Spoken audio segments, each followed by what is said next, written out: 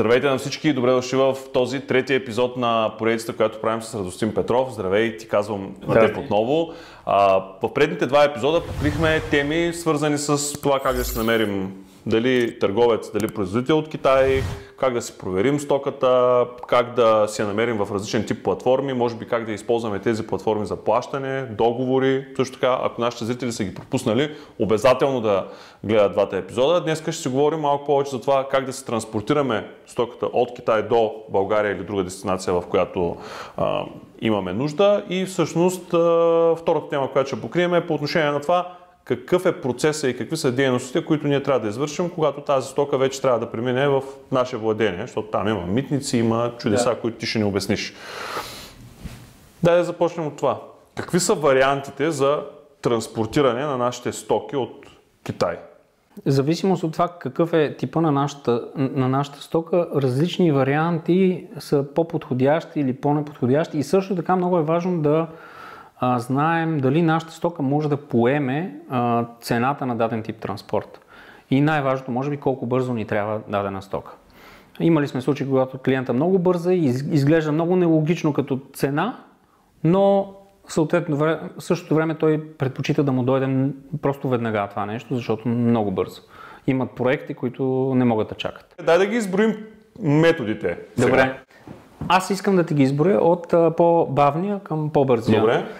Най-бавният метод към България към момента е морския групаж, но той е изключително подходящ за голяма част от бизнесите. Какво значи морски групаж? Морски групаж означава взимаме един контейнер, който е 40 фута, 12 метра дълъг и се пълни с стока от различни, на различни фирми в България. А, когато е групаж, а, ти всъщност а, да речем има 5, 10, 15 фирми от България, които искат по, по едно пале или по 5 кубика стока, а контейнера побира 68 кубика стока. И целта всъщност е да се напълни максимално добре, да се оплътни и тези фирми да си разделят, да си разделят Стоеността. стоеността на този транспорт. Основното нещо при това е, че ти трябва да си сигурен в Китай, че имаш а, стоката, за да запълниш този контейнер. И поради тази причина тези стоки е необходимо поне една седмица, 10 дена да са по-рано в склада от отплаването на контейнера. И това автоматично създава едно забавяне на този тип транспорт. И това забавяне е точно с този период. 7 до 10 дена преди отплаването ти трябва да си там, значи автоматично ги губиш, защото а, когато а, работиш с цял контейнер, то тогава може и да се вика два дена. Те имат специално време, което трябва да минеш, но нарежеме 2 до 3 дена трябва да си там. Значи една седмица поне изгубваш. А, друго нещо на групажния транспорт е важно да се каже, че изгубваме възможността да закараме основното превозно средство, в случая контейнера, да седи пред фабриката на доставчика да речем. И да бъде натварено там. Да. И какво се получава от тази загуба? Невъзможността да се гарантира, че по средата нещо няма да се случи. Какво визирам? Ако сме на групаж, трябва да, да се натовари тази стока на вътрешна фирма за спедиция, която възможно е и с няколко прекачвания да закара стоката до този склад. В този склад обикновено нямаме външен достъп или понякога може и да имаш, а, но е малко по-трудно да се, да се организира това цялото нещо. И а, когато това стане, всъщност сега в момента е малко по-трудно и, и поради обстановката, в която сме просто не желаят да много фирми да външни лица да влизат в складовете поради COVID ситуации и така нататък. Но и по принцип в складовете е доста натоварено, така че и може и не може, в зависимост от ситуацията.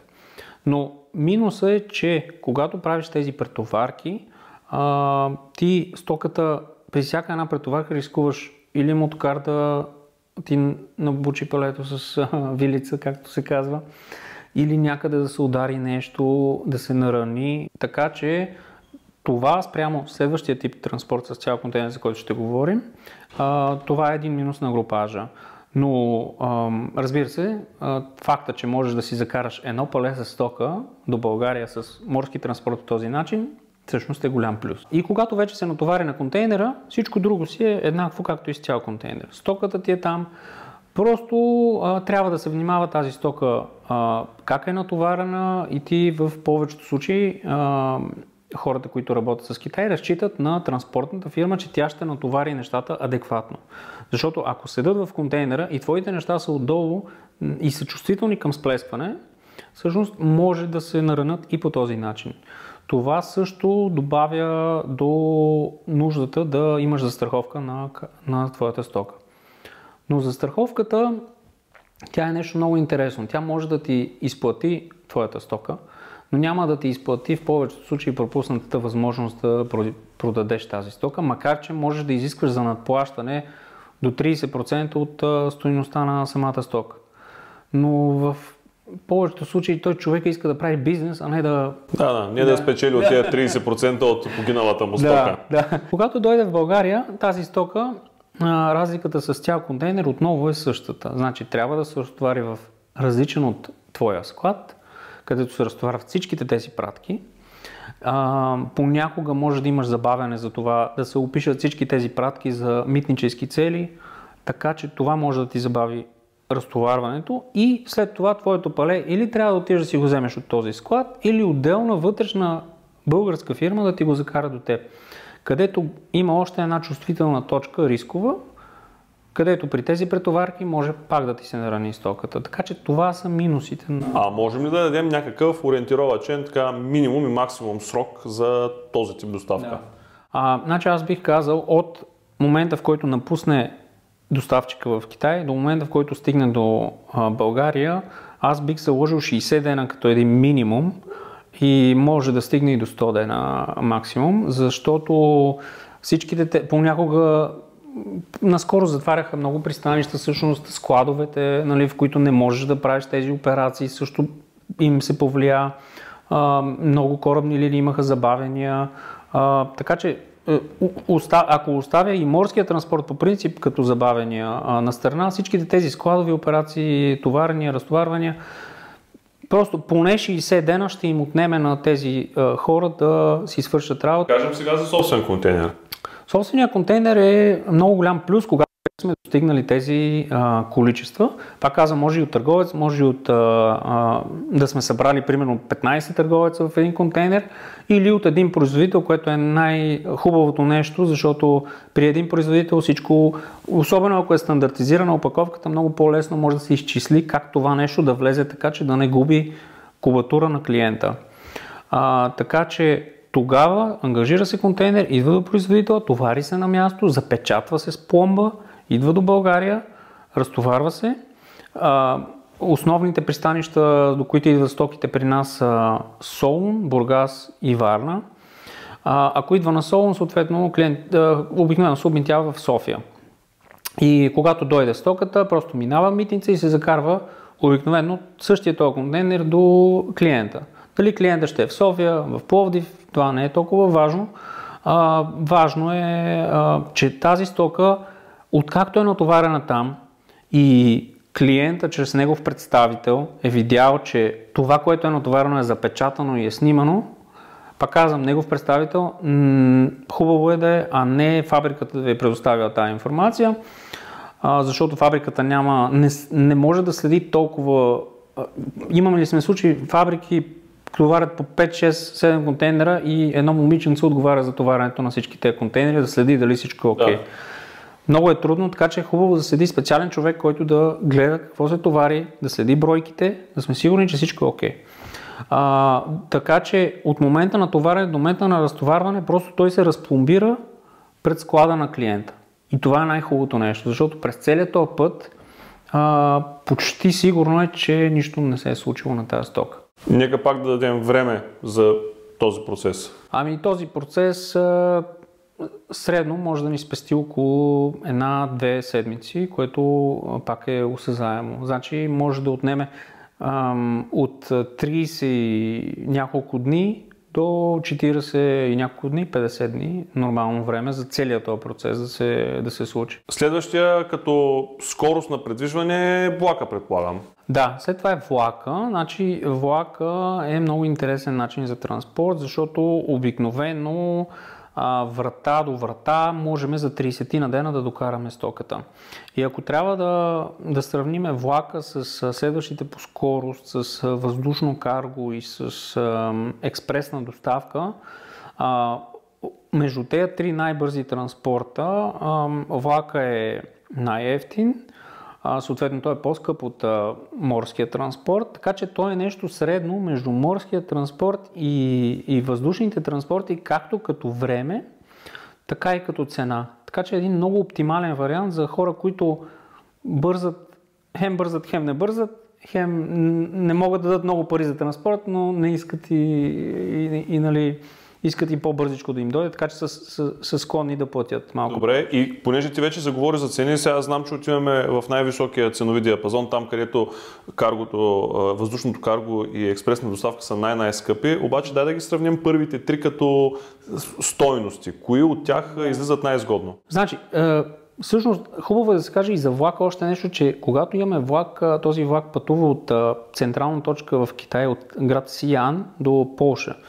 И тази отсечка е във влак. Но когато се отиде до, до Сиан в Китай и когато от Полша трябва да се докара до България, ние също имаме ни претоварни операции, наземни транспорти и така нататък, където също имаме ни рискови точки. И освен рискови точки, вероятно и цена така, повлиява до известна степен на цената. Повлиява, но то си е в тези граници, които казах. Също средно е като цена, времето си е хубаво, 30 дена обикновено врата до врата а, но а, имаме повече рискови точки. А, значи, ако трябва да ги сравним като а, цена, то от морските транспорти, а, ако уплътниш на максимум един 68 кубика контейнер, то тогава на теб ти излиза по-ефтино, защото групажа всъщност представлява същото нещо. Транспортната фирма взима един голям контейнер и го препродава на някакво фирми. Да, хора, които искат да, по-малки да. товари. И съответно на теб ти излиза на кубик по-скъпа средната цена, отколкото за целия контейнер, но пък имаш възможността да закараш един кубик. А, после цената на цял контейнер, ако го напълниш на максимум, ти е ти излиза малко по-ефтино, а от тези трите най-скъпото ти е всъщност с влака, ако товариш товари. Обаче от него има и по-скъп.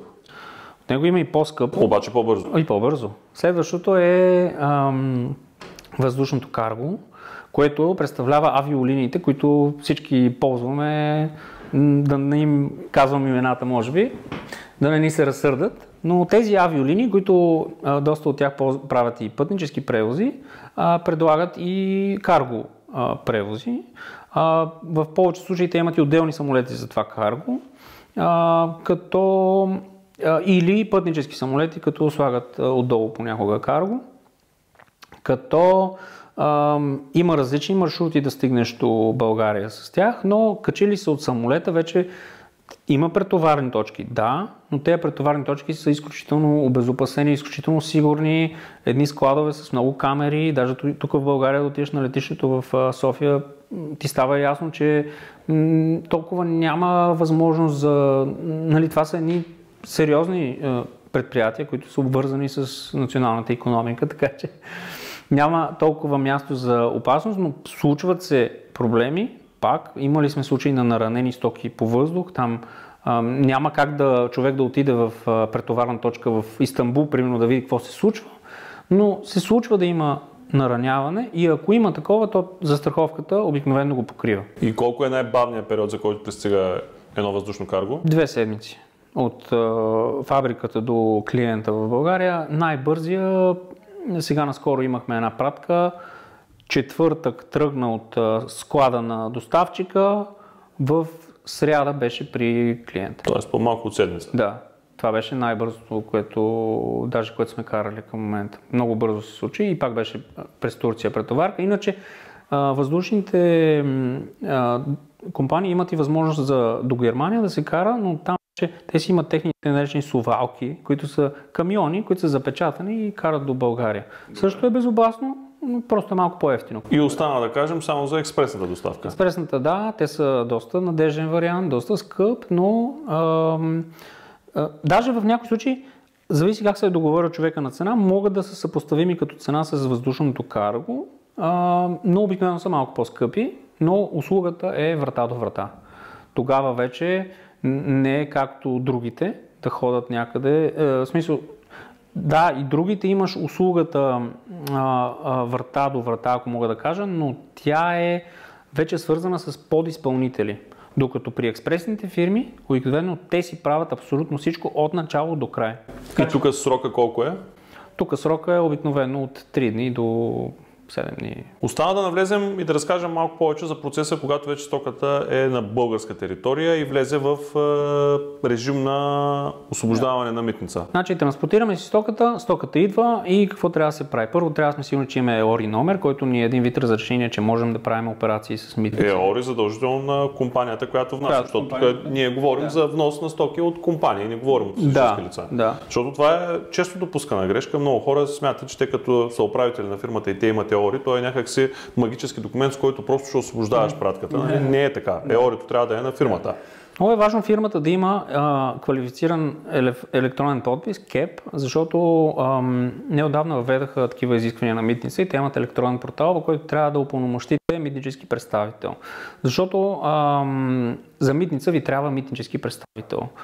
А, това са агенции, които се занимават с това правилно да попълнат митническата декларация. Те а, а, физически се ангажират с това тази митническа декларация да стигне до митницата. Подаването на документите от ваше име също става с а, благодарение на този подпис. Те могат да са един медиатор между вас и всъщност митническите власти те правилно попълват и кодовете тарифните за а, тези продукти, които вие е хубаво предварително да знаете, защото вие трябва да знаете колко ви е митото за тази стока. Защото представете си, купувате нещо от Китай и изведнъж разбирате, като дойде, че ви е 30% митото, отида ви печалват. Да. да. Това и аз съм го срещал като, като грешка при, при някои търговци. Добре, как заплащаме тези митни сборове? Тези митни сборове, митнически агент обикновено прави а, един драфт на митническа декларация за вас, а, но той се прави въз на документите, които вие сте дали.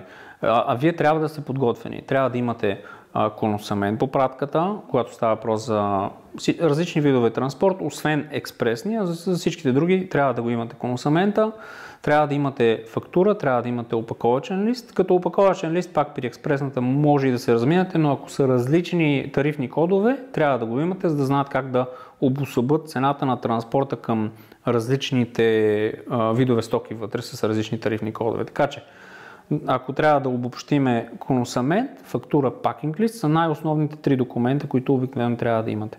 След това вече са допълнителните, които могат да ви бъдат изисквани.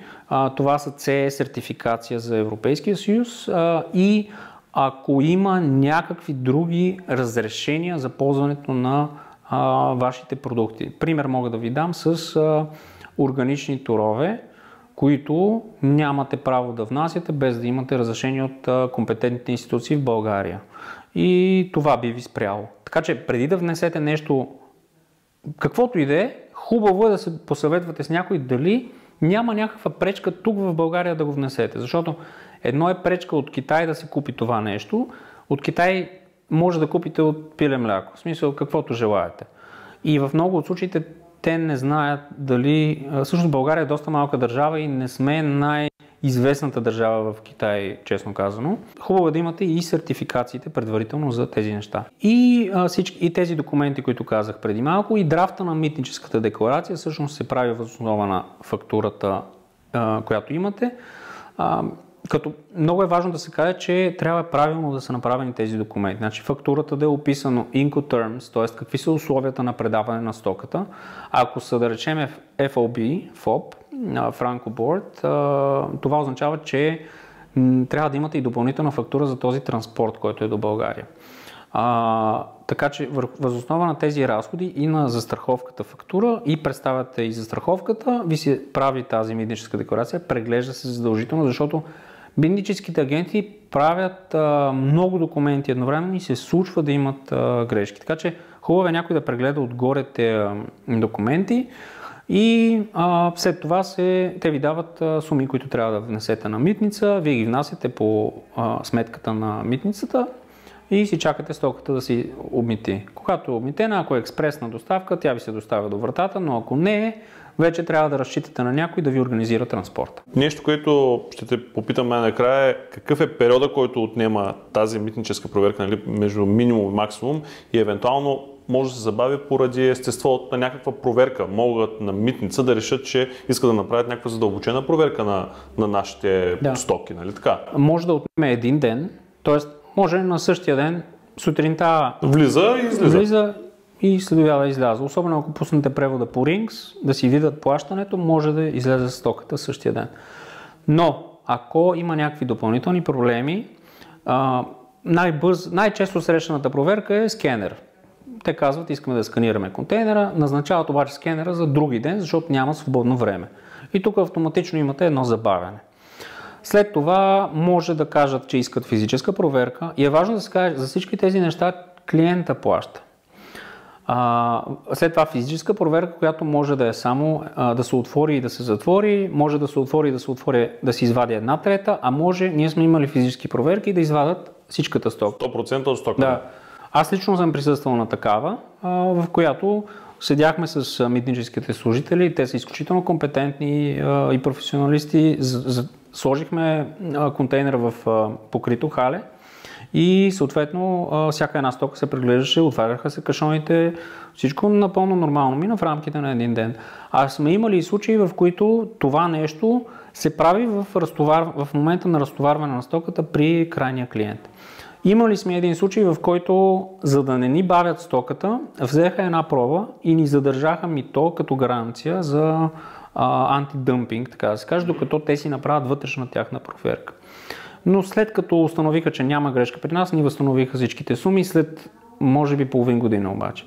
Така че ние даже малко се чудехме тази стока, тя беше в един никакъв режим, а, но в крайна сметка ни възстановиха а, сумите а, по това нещо, но тези разправи с митницата могат да траят много време, защото те, те, те съответно, те си вършат работата, те следят за нередности.